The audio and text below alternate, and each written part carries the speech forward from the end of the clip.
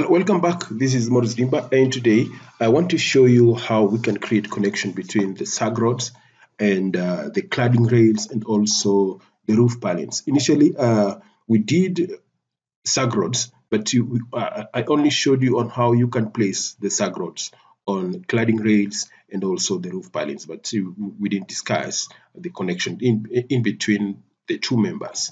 So the connection I'm talking about is between the, the, the rods and the cladding rails and also uh, a connection between the rods and uh, roof purlins. So we, we, want to create those connections here. So I'm going to, the tool we are going to use is this, uh, SAG rod connection. So I'm, I'm going to select on that.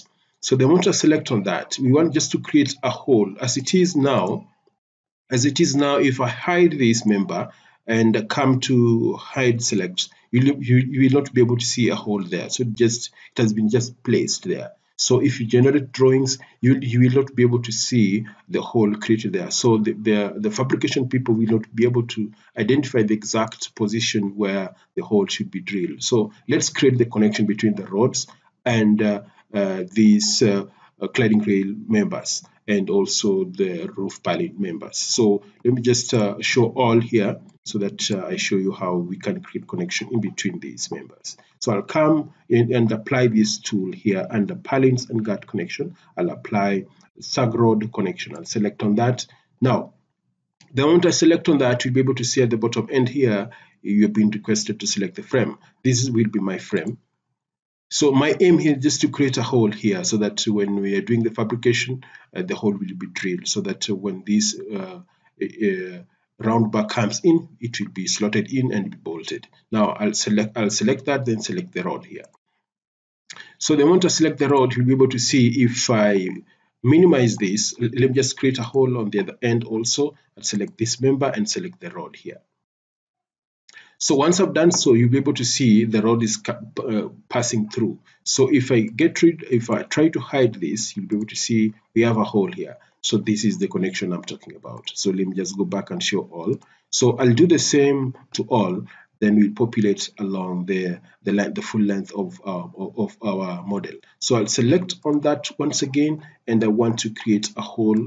I want to connect that member to this member and also I want to connect this member to that member. Right there. And also connect that member to this member also. I'll also come here and do the same thing here. Let me select on that. And also select on this and that. And also come here and select on that and that Let me select on that once again and connect it with that so that rod passes through.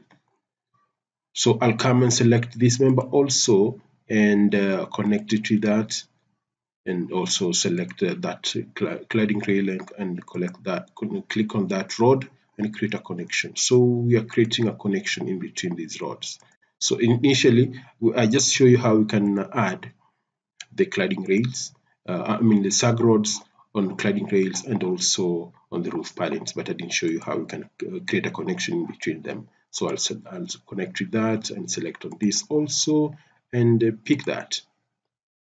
So if I zoom out I'll also create a connection in between that member and that member and also create a connection between that member and this member. So you can see the uh, the rod is uh, passing through the the cladding rails. So I'll select on that once again and select on this also. So if I zoom out and select that member and come back and picking on, on that. So what we are going to do, we are going back on top here and also make some adjustments. So I'll just double click in here. I'll just double, I'll just press press shift and double click on that macro. So I want to make some adjustment. Initially, we, we were just creating holes uh, to create to create a connection but this time around we want to add some uh, some, some additional plates. So I'll go ahead and click apply and I'll come here and select on that member connect that to that to that so we have a connection right there. So I'll select this member and select this member also so that we have a connection right there. Perfect. And also I'll come here and do a same thing here. And click on that So we have created a connection between these two members.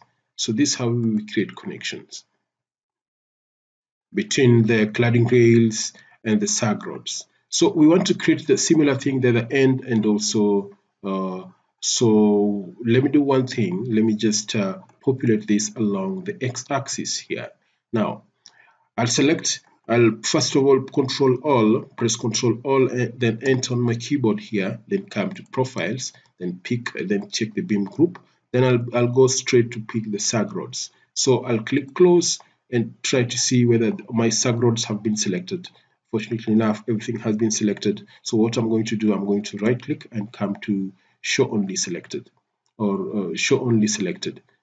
Or once everything has been selected let me just show only selected so so that we see we have everything in place. Now we can show all now. Now I've selected everything here so what I want to do I want to populate this along the uh, y-axis. So how do I do that? I'll come here and right click and come to special copy here and click linear.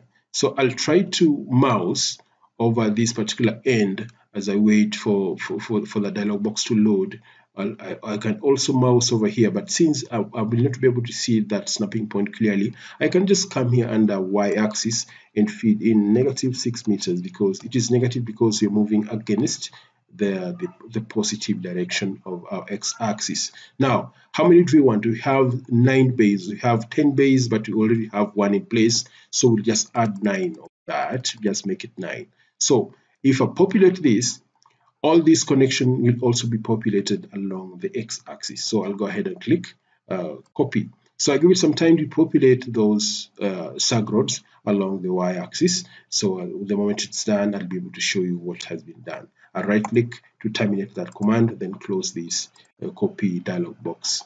Uh, uh, uh dialog box. Now, if you, you can see that the connections have been created all the way to the far end here. So this is how you create connections. So if you generate drawings, all these cladding rails will be drilled uh, according to uh, the positions of the sag rods. So initially I just showed you on how you can add sag rods on cladding rails and also on the roof purlins. And we can apply the same things here. We can copy this the other end. So to copy this the other end, just control all then uh, enter enter enter press enter button.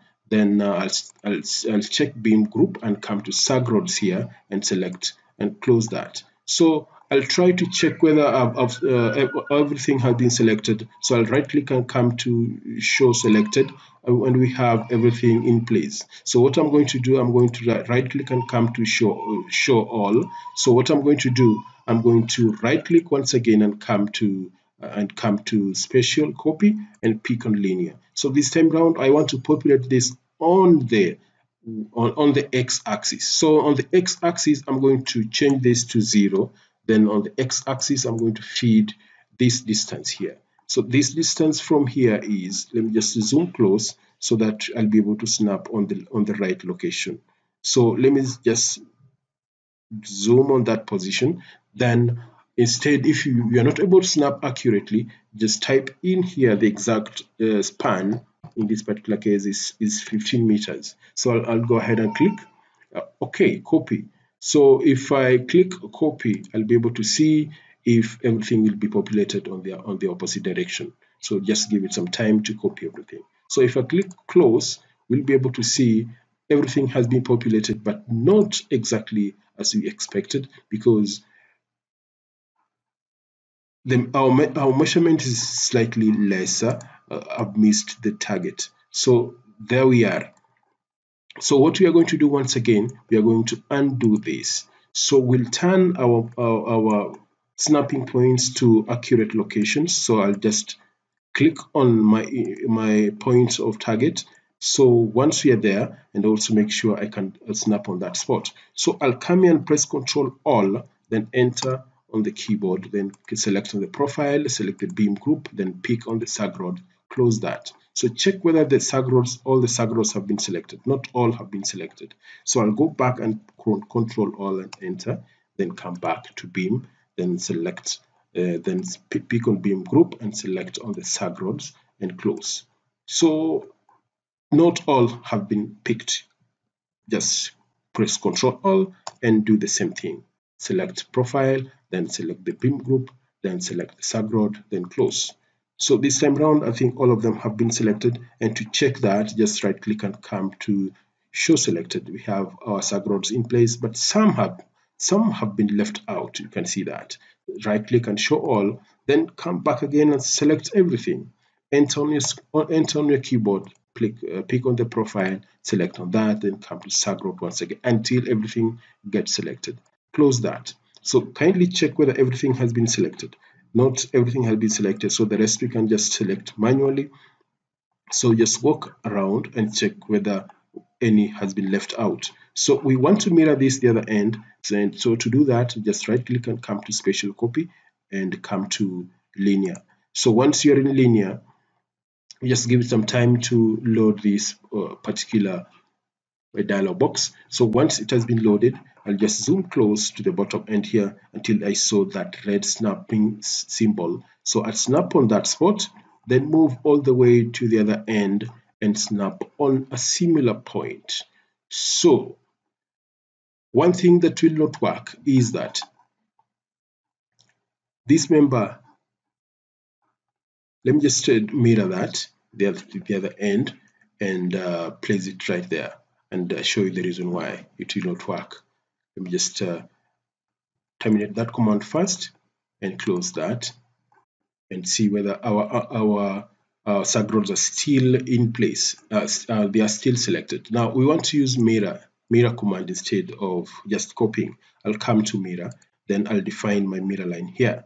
Instead of copying, we might lose the target as we did previously. Now I'll place my mirror line right there. Then I'll come to options and click run. So the moment I click run, we'll be able to now mirror everything accurately. Instead of copying, copying, we, we might lose the target because the because of the orientation of our uh, cladding rails. So I'll go ahead and close that. So if you come in here, you'll be able to see we have our cladding rails already copied on the other end. So that's how you can do that. So you, uh, I'll give you assignment. You do the same on the uh, roof purlins and apply that. So that's how you create connection and thanks a lot. Let me just first of all walk you through so that you see what has been created. You can see that has been created right there and uh, that's how you can create the SAGROD connections.